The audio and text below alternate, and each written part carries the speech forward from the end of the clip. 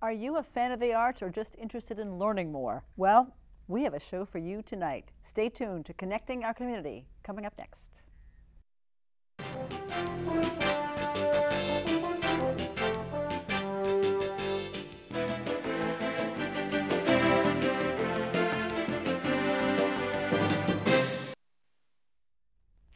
Hi, everybody, and welcome to Connecting Our Community. I'm Karen Allen. Tonight's guest, very exciting and unique, Arianna Ross. She is the founder and creator of Story Tapestries.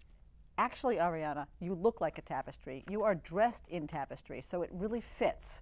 Thank you. Thank you for coming. When I first came up with that name, I always found that people tried to pinpoint me as an artist. Oh, you're a storyteller. That means you don't dance. That means you don't play music. That means you're not a photographer. And I'd say, no, part of the joy of being a storyteller is that I'm able to weave all of those art forms together in order to help teach, in order to help educate, in order to create my performances. So when we transformed my organization, which was originally a me, myself, and I, doing my thing in the school systems, working with community groups, when we transformed it into a not for profit, we decided to keep the name Story Tapestries because we bring in artists from all walks of life. Uh, we have an artist who was just recently in Louisiana, a beatbox artist named Max Bent. He was down in Louisiana working with a middle school, teaching math through beatbox work. Wow. I, this morning, was in, uh, and in many mornings, I am in schools working with teachers, teaching math, English, science, social studies. These days, everyone talks about the Common Core standards, but a lot of the teachers are unsure of how to approach Common Core. And what my job is, I offer them tools to help them find an effective, sometimes easier way into Common Core so that when they're done teaching, the kids are excited, they're empowered to want to read, to want to write. If we don't empower our kids starting in pre K, what happens is by the time they get to high school, they're not interested in learning. How true is that? That and is true in my huge. house. but that you're a performance artist then, which I, I like because you, you said you do many things. You're not just a raconteur, you're a performer as well. Right. So you're a performance artist. And then are you also a certified teacher? Do you have to be certified or just a teacher that or someone that's picked up teaching things along the way and combined it all? I am not a certified teacher. However, all of our artists that work with us, and we're very clear, we vet. I mean, we vet very carefully. Have had training. I have had training through the Kennedy Center. I've had training through Wolf Trap. Um, so you're in, educators. Yes, we're all educators. Um,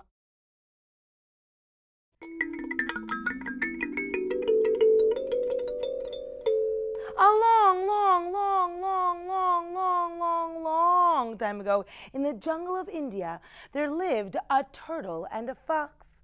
They were best friends. One day, the fox was waiting for his best friend underneath a gigantic tree. He was playing his favorite instrument, the kalimba, a thumb piano. The turtle was very, very, very, very late. By the time the turtle showed up, she was so excited she could barely get a word out. Hey, okay, said the fox. I need you to slow down. Take a deep breath in. Let it out. Okay, but here's the thing. Here's the thing. Okay, okay, okay. Tomorrow, tomorrow, tomorrow is is Diwali, and that's the festival of lights. So we have to do a big, big, big party. Okay, if we're going to have a party, who are we going to invite to the party? They thought about it and thought about it and thought about it, and then they decided they would invite the monkeys, the elephants, definitely the birds, and of course the alligators. But when it came time to invite the tigers, the turtle said, absolutely, absolutely, no, no, no, no, no, no tigers. Uh-oh. What the turtle and the fox didn't know was that hiding behind a great big tall tree was a huge tiger. And when he heard he wasn't going to be invited to the party, he did what tigers do best. he began to cry. And then he did what tigers are more famous for. He let out a great big loud roar, which of course caused the fox to take off running. But the turtle, she couldn't run fast enough, so she did what turtles have to do. She hid underneath her shell.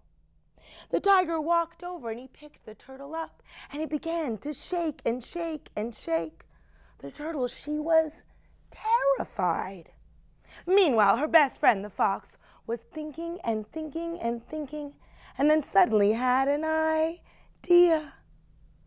Listen, uh, Tiger, if you want to eat the turtle, um, you have to know the turtle's secret.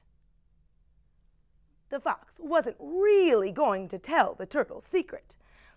Listen, uh, Tiger, if you want to eat the turtle, you have to put the turtle in water and then her shell will become soft.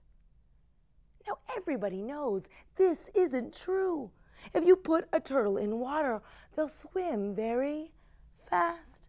But the tiger was so mad he forgot to think. He picked that turtle up, and on the count of three, one, two, three, he threw the turtle into the water, and immediately she began to swim away. The fox, of course, ran away, and the tiger was left all by himself. One hour later, the turtle came back. Okay, okay, okay, okay, okay. All right, all right, all right, said the turtle. You can come to the party, Tiger, on one condition. You have to promise not to roar. When you roar, you scare me. Okay, said the tiger. I promise no roaring. Oh, the next day they had the party.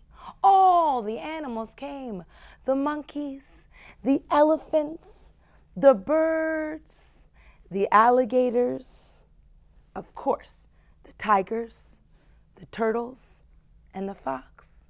Some say that when the sun was rising in the morning, after lots of dancing and eating, that they saw the turtle and the tiger dancing right next to each other.